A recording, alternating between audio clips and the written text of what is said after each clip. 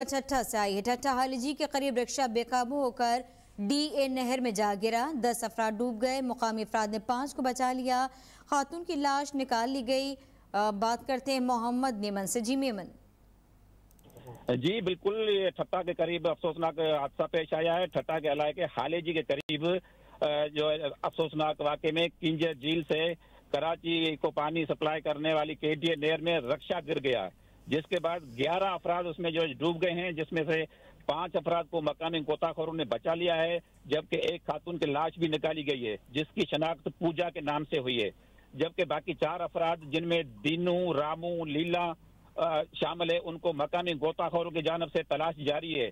डूबने वालों का तल्क कराची के इलाके कोई गोट से बताया जा रहा है, जो यहाँ दरगाह पर सलामी देने के लिए आए थे।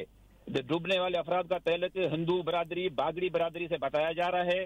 इस वक्त केडीए नहर में गहरा पानी और तेज हवाओं के पास पानी का तेज भाव होने के बायस रेस्क्यू कार्रवाई में सख्त मुश्किल पेश आ रही है जबकि जिला इंतज़ाम अपडेट किया ठट्ठा हालजी से मोहम्मद मेमन ने।